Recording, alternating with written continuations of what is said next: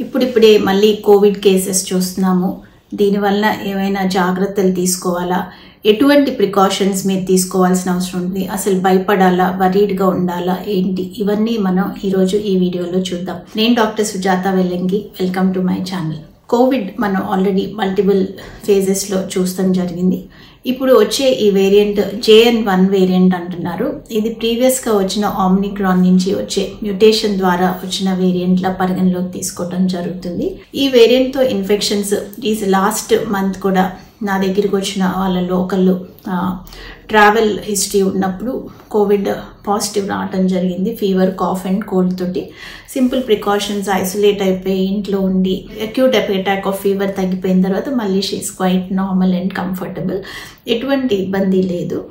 So ఇక్కడ ముఖ్యంగా చూసుకోవాల్సింది ఏంటంటే as a doctor as a physician నేను మీకు చెప్పదలుచుకుంది ఏంటంటే ఎక్కువ భయాందోళన పడొద్దు. మనం చాలా ఫేజెస్ ఆఫ్ కోవిడ్ చూసాం. భయపడాల్సిన అవసరం లేదు.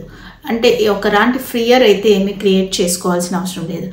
కానీ మన వంతు బాధ్యత ఉంది. మనం ఈ కోవిడ్ని స్ప్రెడ్ చేయకుండా. ఈ వైరస్ని ఇప్పుడే జస్ట్ రిపోర్ట్ చేయడం స్టార్ట్ చేశారు. దీని నుంచి ఎటువంటి ఎఫెక్ట్స్ రావచ్చు ఎవరికి ఎక్కువ ఎఫెక్ట్ అయ్యే ఛాన్సెస్ ఉంటాయి మనకు తెలీదు. కాబట్టి వీలైనంత వరకు దీన్ని మనం కంటైన్ చేయడానికి మన వంతు బాధ్యతగా మనం ప్రికాషన్స్ మనం తీసుకోవాలి. మన ఇంట్లో పెద్దవాళ్ళు కానీ పెద్ద వయసులో ఉన్న వాళ్ళు కానీ ఎవరూ మళ్ళీ దీని బారిన పడకుండా దీని నుంచి వచ్చే లాంగ్ టర్మ్ ఎఫెక్ట్స్ తోటి బాధపడకుండా ఉండాలి అనుకుంటే మనంతు ప్రికాషన్స్ మనం తీసుకోవాలి. ప్రయాణాలు చేయొచ్చా? ఎస్ చేయొచ్చు. రెస్ట్రిక్షన్స్ ఏమి ప్రస్తుతానికి గవర్నమెంట్ ఏమీ ఇవ్వలేదు. కాకపోతే బాగా ఎక్కువగా జనం ఉన్న ప్లేసెస్ ఈ న్యూ ఇయర్ ఈ సెలబ్రేషన్స్ ఇవన్నీ వస్తున్నాయి కాబట్టి ఎక్కువ క్లోజ్డ్గా కంటైన్డ్గా ఉండే ప్లేసెస్కి అవాయిడ్ చేయండి వెళ్ళటానికి. లేదా ఒకవేళ ఉండాల్సిన పరిస్థితులు ఏర్పడితే ఖచ్చితంగా మాస్క్ ధరించండి. సో ఇంతవరకు మనం ప్రికాషన్స్ తీసుకోవచ్చు. మాస్క్ వేసుకోవడం కంపల్సరీ కాదు మ్యాండేటరీ కాదు.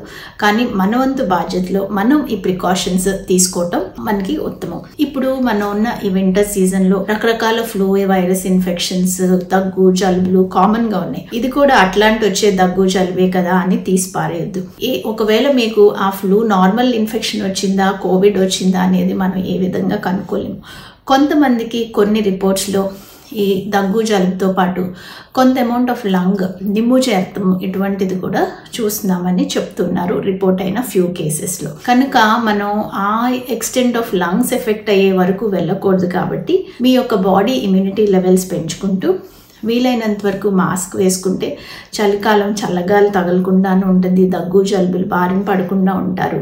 అట్లనే ఈ ఇన్ఫెక్షన్ కూడా రాకుండా మనం కంటైన్ చేసుకోవచ్చు. వీలైనంత వరకు బయటకి ప్రయాణం చేస్తున్నప్పుడు ఖచ్చితంగా మాస్క్ ధరించడం అనేది బాధ్యతగా తీసుకుని ఫాలో అవడానికి ప్రయత్నం చేయండి. అలానే మీకు ఏదైనా కొంచెం దగ్గు జలుబు ఫీవర్ ఇటువంటి ఉన్నప్పుడు వీలైనంత వరకు ఎక్కువ మందిలోకి వెళ్ళి ఆ మాస్క్ లేకుండా తిరిగేసి వాళ్ళకి స్ప్రెడ్ చేయటం. అంటే ఇప్పుడు మన ఫ్రెండ్స్ మన ఫ్యామిలీ మెంబర్స్ మన రిలేటివ్స్ ఉన్నారనుకోండి ఇదిగో వీళ్ళకి దగ్గు జలుబు చేసింది ఆ జలుబు చేసుకుని వచ్చి వర్క్ చేసేసి అందరికీ స్ప్రెడ్ చేసేస్తున్నారు అని మన మన ఎవరు అనుకోకూడదు కనుక వీలైనంత వరకు మనం అటువంటి సిచ్యువేషన్ వస్తే ఒకరోజు చక్కగా ఇంట్లో రెస్ట్ తీసుకోండి. లేదా పనికి వెళ్ళాలి అనిపించినప్పుడు ఖచ్చితంగా మాస్క్ పెట్టుకుని వాళ్ళకి మన నుంచి ఇన్ఫెక్షన్ రాకుండా ఉండటానికి కూడా మనం ప్రికాషన్ తీసుకోవటం మంచిదన్నమాట. ఇంకోటి బాగా ఫీవర్ ఉంది పర్సిస్టెంట్గా వస్తుంది దగ్గు వస్తుంది ఆయాసం వస్తుంది బ్రీతింగ్ డిఫికల్టీస్ ఉన్నాయి. ఇట్లాంటి సివియరిటీ ఉన్నప్పుడు ఇది మామూలు దగ్గు జలుబే కదా అని